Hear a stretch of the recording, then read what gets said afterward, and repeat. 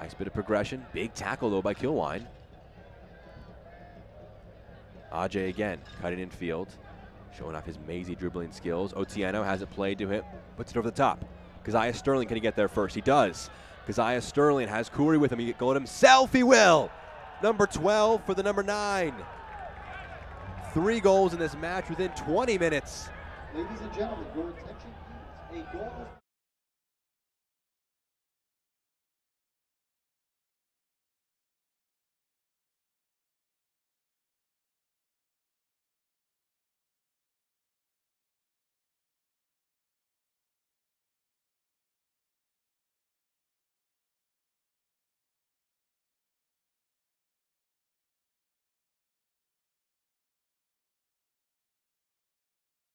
He's on absolute fire. Holds off the attempts of his opponents, keeps his composure. Not much Aviles can do there to keep that one out. Just brilliant progression and wide open match. What a thriller we're being treated to here.